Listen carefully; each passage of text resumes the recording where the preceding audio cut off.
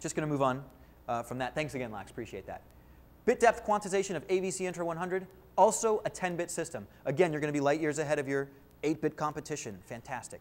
Color space, boom, 422. Art, uh, there's, your, there's the answer to your question one more time. 422 color space in AVC Intra 100. Is this, cam is this codec awesome? Anybody want to hazard a guess? Totally awesome.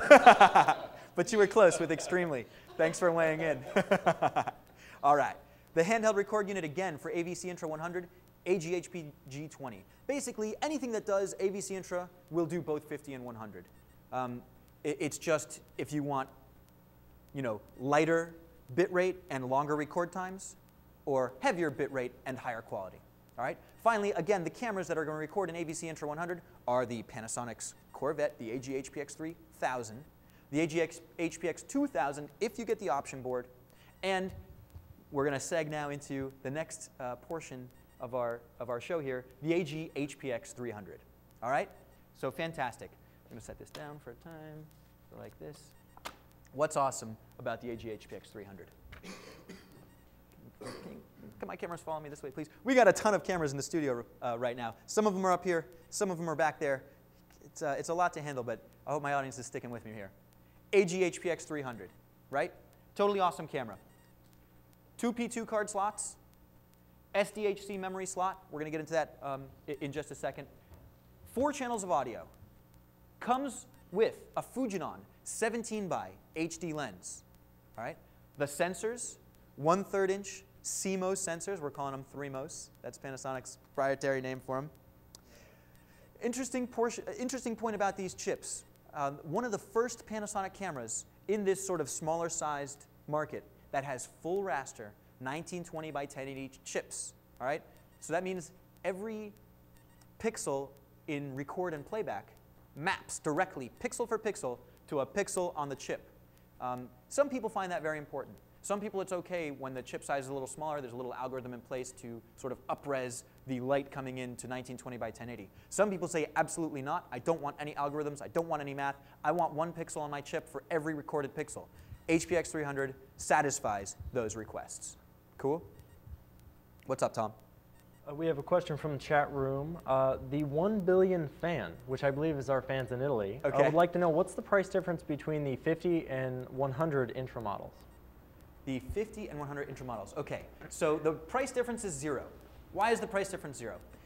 Cameras such as the HPX 300 or the AJ HPX 3000 or 2000 with the option board, they have the capacity to record in multiple codecs. Okay? One codec that they can record in, AVC Intra 100. Another codec, just a menu setting, AVC Intra 50.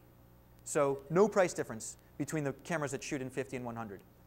Additionally, for our, uh, for our friends that are shooting DVC Pro HD on P2 cards, those are our friends who've bought HPX 170s, HPX 200s, right?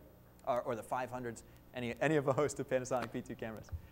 These cameras that are shooting in AVC Intra still have the capacity to shoot DVC Pro HD on the P2 cards. Why is that important? Maybe you spend a lot of time editing from your HPX 500 or 200, and you spend a lot of time with P2 cards and DVC Pro HD material, and you're just not ready. You're just not ready to move into the intra-frame recording. Uh, the, although DVC Pro HD also is intra-frame.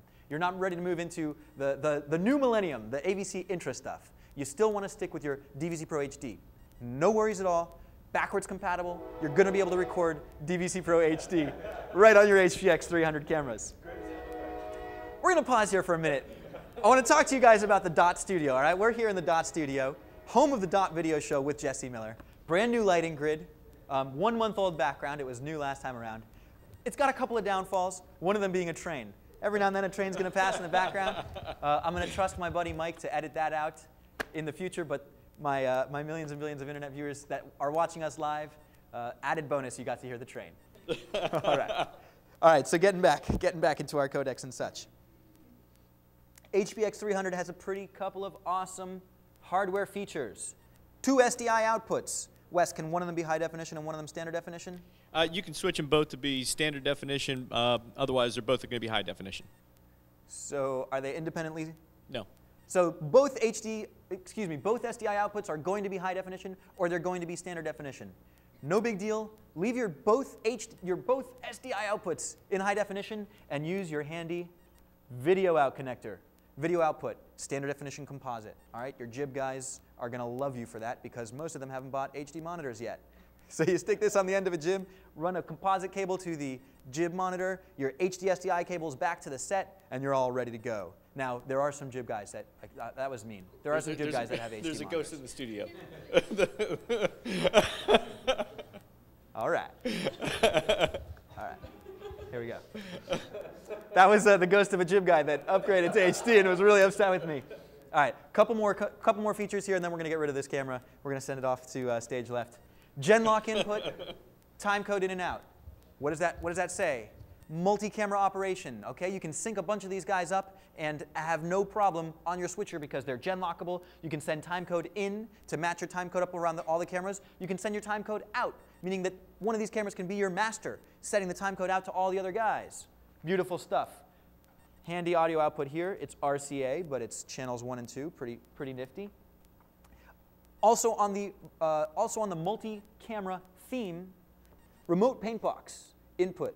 So an engineer, engineer can remotely control your iris and colorimetry. This is a big one. This is very important. You don't want your cameras not to match. All right. Finally, uh, this, is a, this is a decision that I'm very pleased with by Panasonic. Look at what battery I've got on here. This is an Anton Bauer battery, your standard gold mount, okay? This is not a special option. You did not pay any extra for this. The AG HPX 300 out of the box, Panasonic put an Anton Bauer battery adapter plate on the back of the camera. That's phenomenal. Wes, how, how long am I going to run this for on a Dionic 90? Uh, the Dionic 90 will go about four hours, I believe, with, four this, hours with this camera guaranteed. because of the CMOS. Wes Carr. Thank you very much. yeah, now it's fully charged, new battery. Okay, all right. Cool. So um, there's even a USB 2.0 slot out of this camera. Now, I'm going to guess that's for host and device mode. Correct. All right. Again, you can use this camera, FireWire or USB 2.0, to come out to your computer for capturing, or directly to a hard drive, no computer in the middle. All right? As long as you've got a properly partitioned hard drive, you're going to be able to communicate directly to the hard drive, no laptop in the middle necessary. Totally awesome.